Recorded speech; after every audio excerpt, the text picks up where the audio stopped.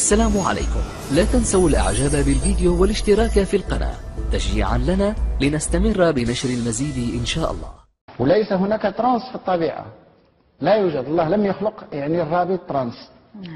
ولكن الزيوت التي يعني ال refining الزيوت التي صنعها الإنسان واستخرجها وكررها فهذه الزيوت فيها trans. جميع الزيوت التي صنع الإنسان فيها trans.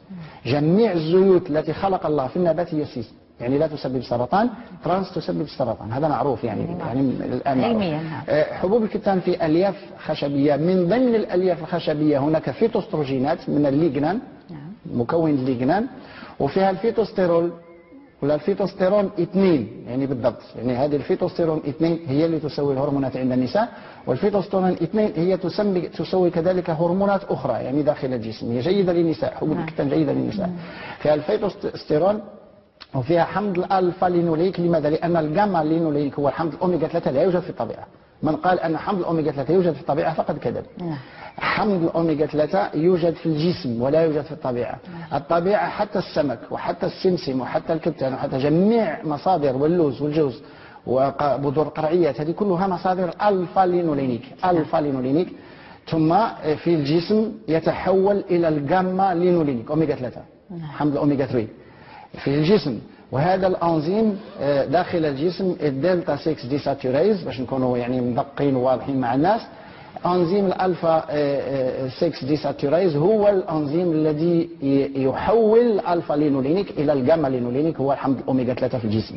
إلا إلا أن بعض الأشخاص عندهم هذا الانزيم مكبوح أو قليل أو لا يوجد.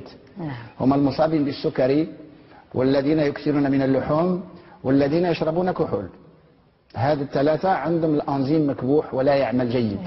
ولذلك يجب أن يستهلكوا كمية كبيرة من حبوب الكتان. أو من مصادر حمض الأوميجا 3 لأنهم, لأنهم, لأنهم لا يحصلون الجسم غير قادر لكي يحول ال alpha linolenic لل gamma linolenic اللي هو حمض الأوميجا 3 داخل الجسم. ولذلك لا يستفيدون منه. يعني الذين يكثرون من اللحوم أعيد. والذين يشربون كحول الخمر والمصابين بالسكري. عندهم هذه الأنزيمات تكون عندهم يعني ناقصة شوية يعني مكبوحة بمعنى أن الأشخاص الذين يكثرون من اللحوم حتى ولو أكل 200 جرام من من من الحبوب لا يستفيد منها.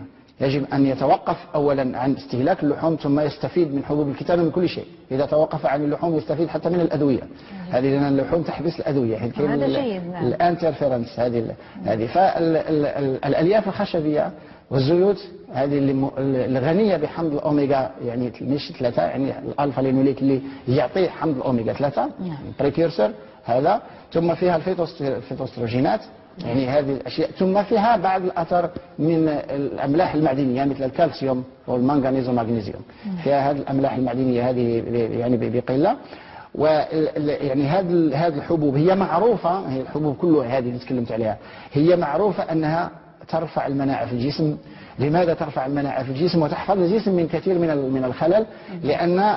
م- العاملان اللي كاينين هما عاملان اثنين هما الألياف الخشبية والالياف الخشبية الالياف الغذائية فيها فيها الفيتوستروجينات ثم حمض الاوميجا 3 إذا اجتمعت الالياف الخشبية مع حمض الاوميجا 3 لا يمكن يكون سرطان في الجسم ولا يمكن يكون أمراض القلب والشرايين ولا يمكن يكون إمساك على مستوى القولون ولا يمكن يكون حتى حصى في في في في المرارة وفي الكلية. لماذا؟ لأن كل ال- ال- الحوادث داخل الجسم هي تسوى وحمض الاوميجا 3 هو سبحان الله هو آه، رحمة الله التي خلق في هذه الأشياء.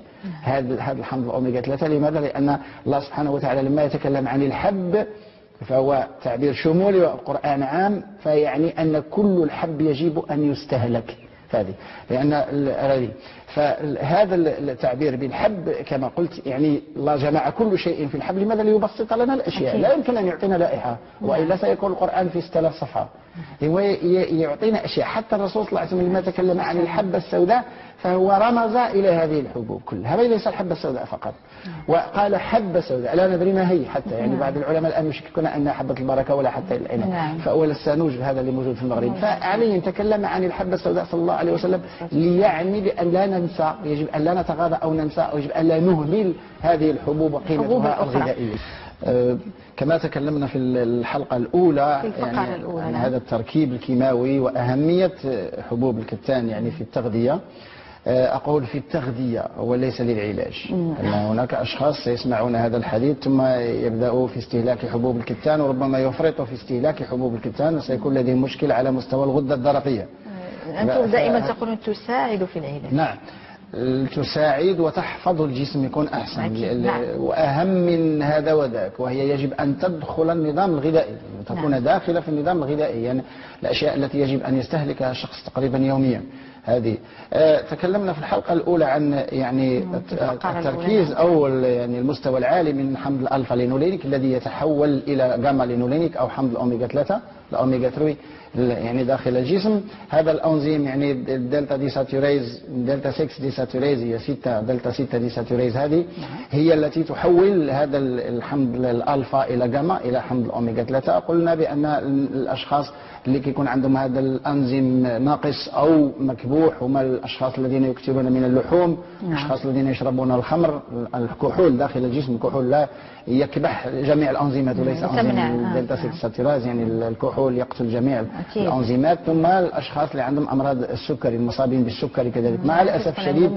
مع الأسف الشديد لأن هو الحمض الأوميجا 3 هو الذي ينفع أصحاب السكري لأن مضاعفات السكري هي أمراض القلب والشرايين والكلي والحمض الأوميجا 3 يحبس هذه المضاعفات يعني يحد من مضاعفات السكري على القلب. هذه يعني ولذلك المصابين بالسكري خصوصا اللي ما زال عندهم أعمار شوية يعني صغيرة يعني باقي شباب يعني من العشرين حتى الأربعين سنة اللي عندهم السكري في هذه الأعمار آه، يجب أن يكثروا من حمض الأوميجا 3 وأن يبتعدوا من الدسم الحيواني ثم إن شاء الله يعيشوا بسلام. ليس هناك أي أي أي, أي مشكل أهميتها على الصحة هي الأهمية القصوى هي أمراض القلب والشرايين لماذا؟ لأن حمض الأوميجا 3 هو يمنع يمنع تأكسد الكوليسترول من الحميد إلى الخبيث هذا مهم يعني يمنع يمنع لأن لأن المصيبة الكبرى هي لما يتأكسد الكوليسترول الحميد لأن الكوليسترول الحميد يحفظ الجسم نعم. الكوليسترول ال- ال- ال- الحميد يحفظ الجسم من السرطان نعم.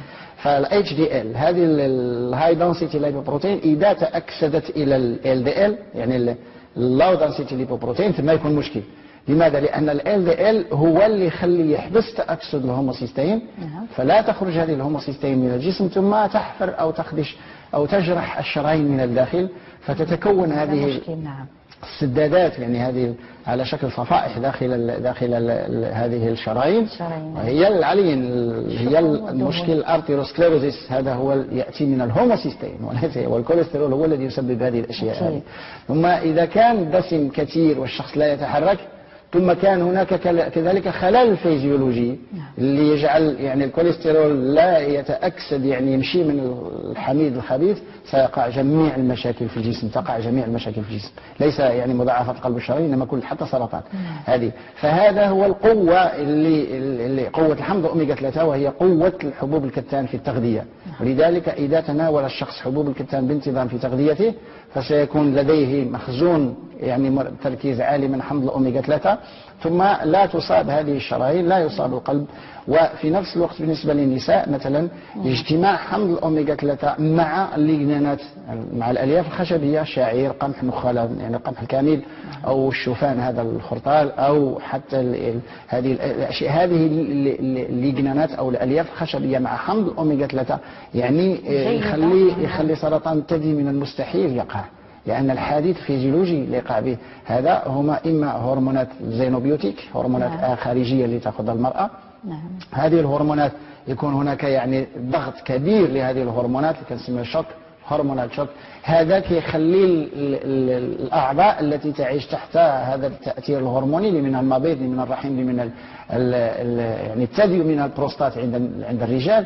يخلي هذا العضو يعني قريب جدا من أي مشكل داخلي منه سرطان. يعني يكون قريب. ولذلك كان نلاحظوا على أن السرطان عند النساء يتركز في هذه الأعضاء الثلاث. نعم. المبيض والرحم والثدي خصوص الثدي وكان. سرطان الثدي في المغرب. أكثر الآن دابا طلع الرحم. نعم. لماذا؟ لأن حتى أنا ما طلعيش والتلوث وهذاك الشيء مع الاسترس مع مع المسائل عند النساء طبعا غادي يكون السرطان أنواع السرطان تتغير وتتبدل عن نسبتها نعم.